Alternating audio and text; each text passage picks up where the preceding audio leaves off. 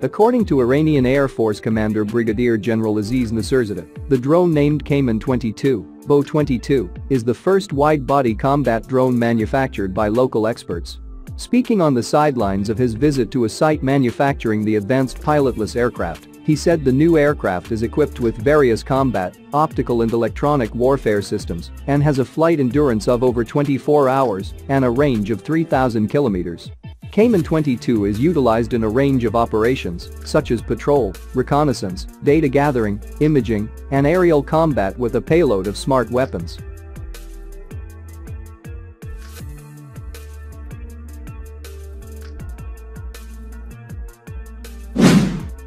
In January, the Iranian army staged a war game and flew new military suicide drones that can conduct non-stop sorties to hit targets at a range of 4,000 kilometers. Iranian media said, Kaman 22 UCAV can operate continuously for more than 24 hours with a range of 3,000 kilometers and carries a maximum of 300 kilograms of weapons. It was developed to perform a variety of missions such as patrolling, reconnaissance, intelligence gathering, aerial photography, and precision attacks. This drone is equipped with combat and optical cargo and is designed based on the operational needs of the Air Force and is in the final stages of production, said the commander of the IRIF. It is worth noting that the UCAV of Iran looks almost identical to the most famous combat UCAV currently on the battlefield, the US MQ-9 Reaper. Western experts believe that Kaman 22 is designed based on the US MQ-9 Reaper series. Compared to the MQ-9 Reaper, Iran's UCAV is smaller in size, similar to the MQ-1 Predator series.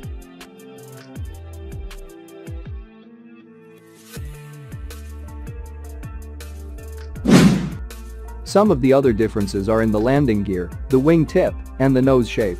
It also carries an unknown set of weapons at hard points. The Kaman 22 prototype is on display with six hard points under the wing.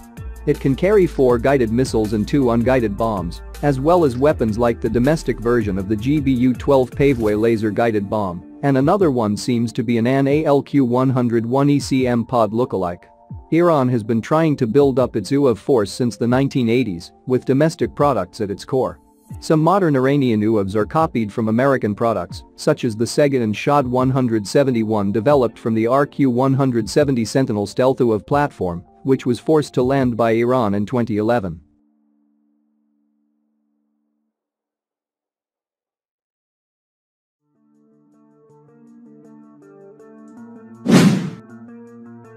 Another product is the Shahed 129, which is very similar to the MQ-1 Predator. Iran has been increasing its drone capabilities in recent years. It has a large number of militarized drones such as the Shahed, Mohajer and Ababil lines. Tehran also recently showcased a new drone named after Gaza. It claims that its drones have long ranges, stretching over 1,600 kilometers, and that some can carry missiles, while others can be pre-programmed to carry out precision attacks by slamming into targets. For instance, Iranian-style kamikaze drones have been developed by Hamas in Gaza, where they are called Shehab, and by the Iranian-backed Houthis in Yemen, who use the Qasif drone. The Houthis have terrorized Saudi Arabia with these UAVs.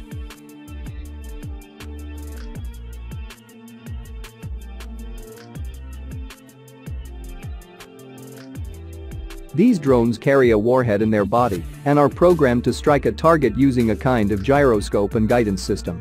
US and regional Gulf reports have linked drones across the region to Iranian construction and blueprints via details such as the gyroscopes.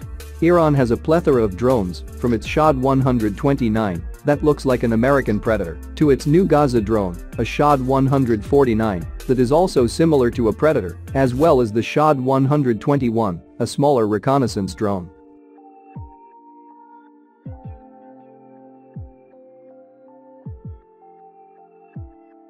There is also a Shahed 123 that is part of the same line of drones. Iran also makes UAVs with names such as Rod, Sija, Sarir, Fotros, Karar, and Kian. Some of the Iranian drones mentioned in sources may not exist, such as the Shahed 136, which was allegedly sent to Yemen to target Israel in January.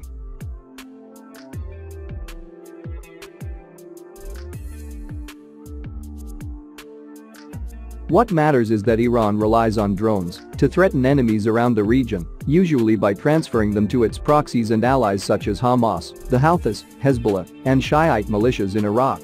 Iranian operators may fly the drones from places like the T-4 airbase in Syria, but the overall goal is that, when they are used against Israel, the US in Iraq, Saudi Arabia, Kurdish forces and others, no one can easily link Iran to the attacks.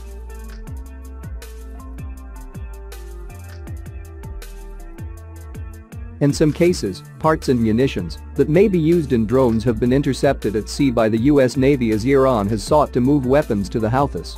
The reported use of numerous drones against a Mercer Street ship off Oman's coast could mark a new era in the Middle East and a major red line in the use of drones against ships.